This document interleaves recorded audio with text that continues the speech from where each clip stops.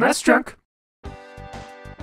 There's a few reasons why I've been doing this channel thing for nearly 8 years, and I haven't yet touched any of the games specifically made for Super Scope. Sure, I've talked about some other titles in the past that are compatible, like Tin Star, T2 the arcade game, and Hunt for Red October, but as far as games that were actually made for the Super Scope, nah, I haven't bothered. The biggest reason is because uh, I don't own a Super Scope, and even if I did, I'd be using it on a 7-inch professional viewing monitor, which is what I play most of my retro stuff on. Plus, I mean, it seems kind of pointless to me to own this giant-ass plastic bazooka that would take up all sorts of space collecting all sorts of dust, and it's only compatible for a whopping 12 games. I'm sure some of you out there are seething with rage and foaming at the mouth and already aggressively pounding at your keyboards about how I'm actually not a proper Super Nintendo fan for not owning a Super Scope. And hey, knock yourselves out, but I did manage to play Battle Clash and a few other games on a 27 inch Sony Trinitron with an actual Super Scope while capturing some footage, so thanks to Andrew Garcia for setting that up for me.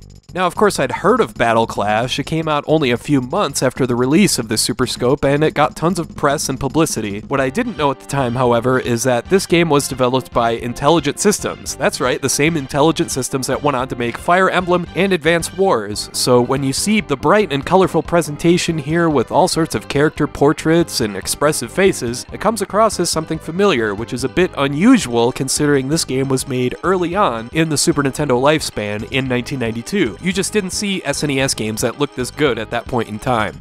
So, the way this game works is that you play as the gunner in a mech controlled by a dude by the name of Mike Anderson. No, not former Denver running back Mike Anderson, or former Philadelphia Phillies right fielder Mike Anderson, or Simpsons director Mike Anderson, or my friend from tech school Mike Anderson. Oh man, I think there are actually too many notable Mike Andersons for me to reference here. It's Mike Anderson overload. I mean, geez Louise, John Smith has a more distinct name than Mike Anderson. Plus, look at his portrait in the manual. That's not a Mike Anderson, that's way more of a Roland Drakanowitz, if anything. Really, it looks like Torgo got his next role in Double Dragon. He looks like a chainsaw sculpture. Anyway, Mike needs your help mowing down all these mechs, which each control a particular territory on this map here. Finish them all off, and you get a showdown against the ultimate evil bad guy who apparently killed Mike's father. Sure, it's not the greatest story. I mean, there are episodes of Antiques Roadshow with more drama, but the presentation here is really well done. The backgrounds zoom by as your opponent jumps around from side to side, and even better, they show damage the further the battle goes. Once you finish them off, you make them go boom with a nice satisfying explosion.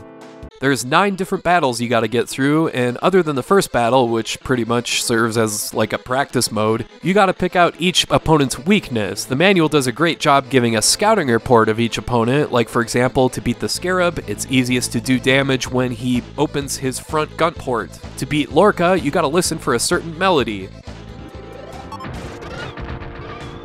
Which signals that they're triggering a powerful spin attack. When you hear it, start charging your weapon and fire away to prevent it. Of course, this is all much easier said than done because you'll be using the Super Scope to play this one, and therein lies the challenge. Just point and shoot as accurately as you can. Your weapons are a regular old machine gun and a charge shot that charges automatically when you're not holding the fire button, with the former being used to protect yourself from enemy projectiles and the latter being used to dole out some heavy damage to your opponent.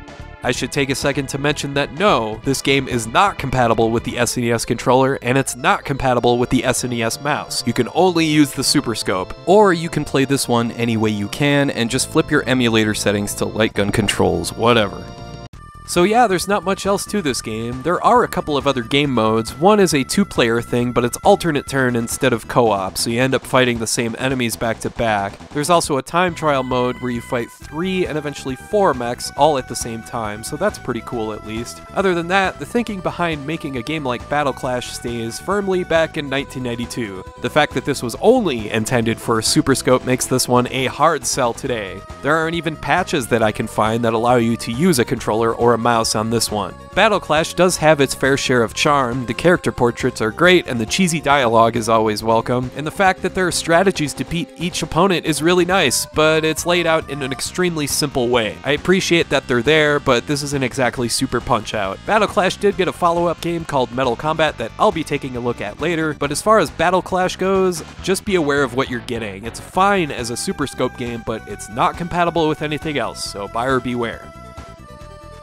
Alright, I want to thank you for watching, and I hope you have a great rest of your day.